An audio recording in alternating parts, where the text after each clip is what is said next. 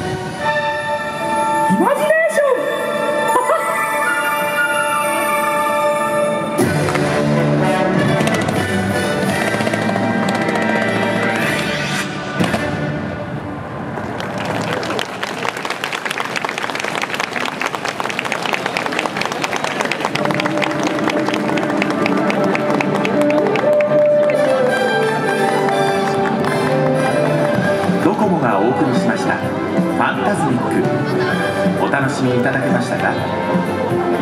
この後も